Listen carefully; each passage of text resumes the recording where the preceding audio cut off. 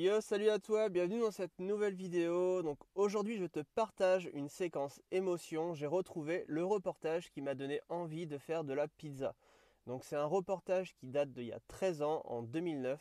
Et donc euh, je pensais vraiment pas retomber un jour sur cette vidéo. Et il y a euh, par chance, une personne qui a mis cette vidéo il y a, il y a 13 ans sur, euh, sur YouTube. J'avais jamais pensé à regarder et faire une recherche.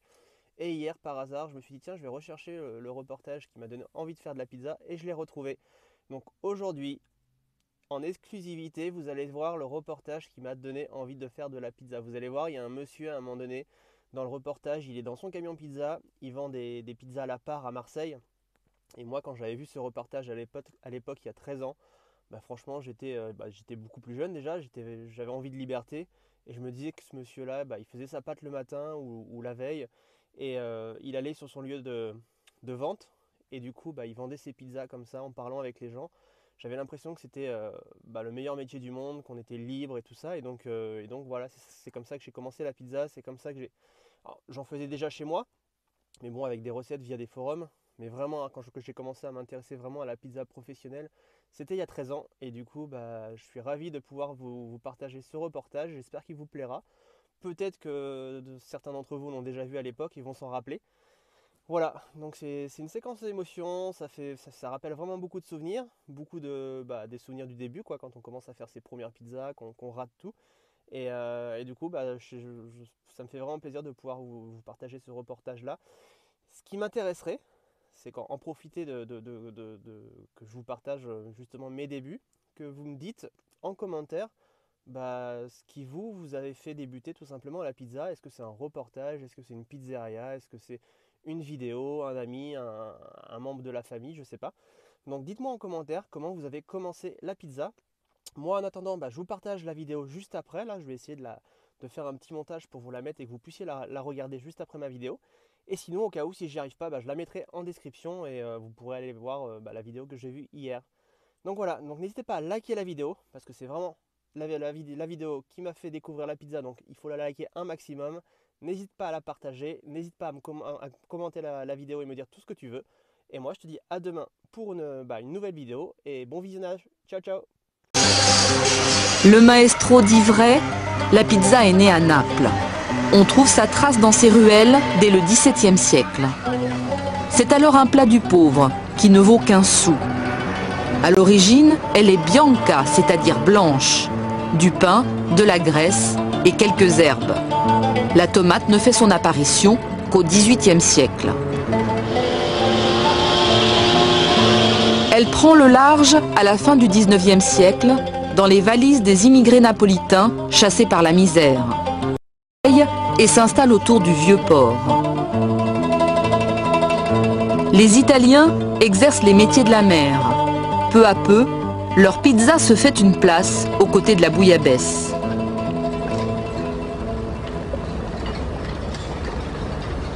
Pour comprendre comment elle s'est diffusée, nous revenons à la source. Une anthropologue spécialiste de l'alimentation nous rejoint sur le vieux port de Marseille. Sylvie Sanchez a consacré sa thèse aux tribulations de la pizza. Un vieux napolitain baptisé Sauveur lui a raconté son adoption par les Provençaux. Dans les années 30, quand il a commencé lui à prendre du métier, la pizza bianca, elle commençait à perdre en popularité. Elle s'était francisée, il me dit. Et par francisée, lui, ce qu'il voulait dire, c'est qu'on y avait ajouté de la tomate. Et donc la tomate de l'époque, on ne peut pas assimiler cette pizza à la tomate à celle qui se fait à Naples à la même époque. Parce que quand Sauveur parle, il parle de pandelotte. Or pandelotte, c'est le mot provençal pour dire la tomate. Euh, donc voilà, cette pizza à la tomate, c'est vraiment le signe de la rencontre des communautés. Pour écrire la suite de l'histoire, Sylvie Sanchez a retrouvé tous les pionniers de la pizza à Marseille.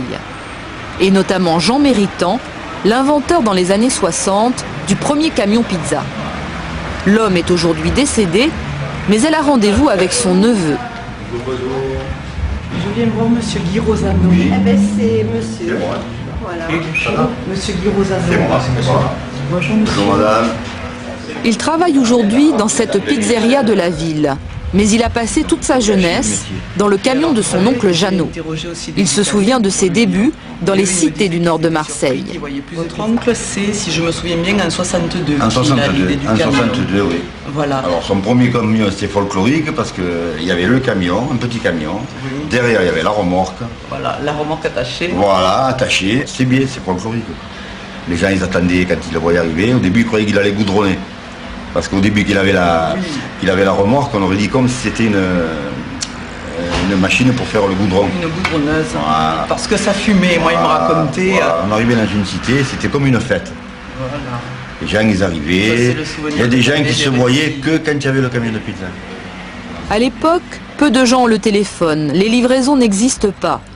Le succès du camion pizza est immédiat, il se répand comme une traînée de poudre et contribue à la diffusion de la pizza sur tout le territoire. Votre oncle, c'est le premier qui a fait le camion pizza. Aujourd'hui, il y en a plus de 4000 dans toute la France. Je veux dire, ils ont vraiment participé à l'histoire de la Il y en a pizza même en. France.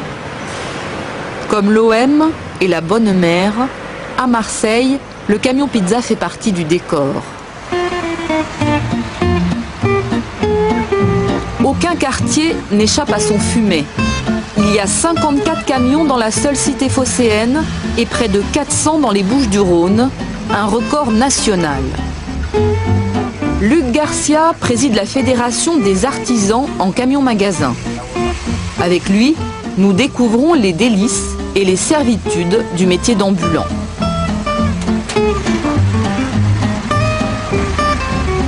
Pour occuper son bout de trottoir, il paie une redevance à la ville de Marseille.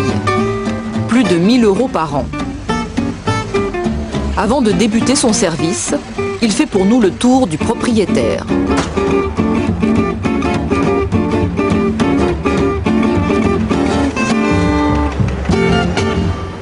Alors un camion correctement équipé, c'est ça. Un accès extérieur pour charger le bois.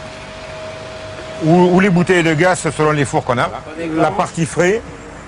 Ici la partie lave-main. Le plan de travail où on prépare la pizza. Le placard à boules pour mettre les pâtons et la pâte. La partie cuisson. La mère de Luc Garcia avait son propre véhicule. C'est elle qui lui a mis la main à la pâte. Il a 27 ans lorsqu'il décide de racheter à crédit un vieux panier à salade. Il garde de ses premières pizzas un souvenir cuisant. C'est dur de fabriquer quelque chose devant quelqu'un, à coup sûr. C'est pas pareil quand on fabrique derrière ou hors de la vue. Là, quand vous fabriquez, regardez, vous avez le client, il est là, il vous surveille. C'est très très difficile, même quand on sait travailler au début, d'être sous l'œil de- du client. Pourquoi vous êtes resté en camion? Vous n'avez pas eu envie de... Ah ouais, mais après on tombe amoureux là. Ou on est fait pour ou on n'est pas fait pour. Beaucoup de fidèles, des oiseaux de passage.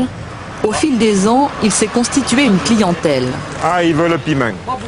Comme les premiers napolitains, pardon. il vend ses pizzas à la part, 2 euros pièce. Pour emporter à la maison ou pour manger maintenant? Non, pour emporter, Comme il en faut un morceau, deux morceaux? Non, une, une à 10 euros, une grande. Ah, une entière, d'accord. C'est la pire des gens qui n'ont pas le temps de manger. Regardez, ces gens-là, ils travaillent. hein. Monsieur travaille, là. Ils ont juste quelques minutes, je veux dire. Voilà. Il faut que ce soit une pizza qui, qui nourrisse. Il ne faut pas que ce soit une dégustation. Le prix de revient d'une pizza basique est faible, environ 3 euros pièce. Pour gagner sa vie, Luc Garcia affirme qu'il faut en vendre plus de 20 par jour. Le camion ne serait pas la poule aux œufs d'or que certains décrivent. Merci. Ça va pas loin. Quand vous avez fait, mais dans les grosses, grosses soirées, euh, dans les finales Coupe de France, la dernière, là, euh, vous arrivez à 60 pizzas, mais c'est magnifique déjà. Déjà, il faut arriver à les faire. Parce que dans une structure aussi réduite, le temps de travail n'est pas long quand même. Ça dure une heure, une heure et demie, ça s'arrête là. Ça ne va pas plus loin. Alors, et après, il faut des grosses structures pour arriver à débiter plus. Dans ce milieu, l'argent est un sujet tabou. Mais selon nos sources, un bon pizzaiolo peut gagner de 2 à 4 000 euros par mois selon les régions. Luc Garcia, lui, ne cherche pas la fortune. Il espère simplement que son vieux bahut l'emmènera tranquillement jusqu'à la retraite.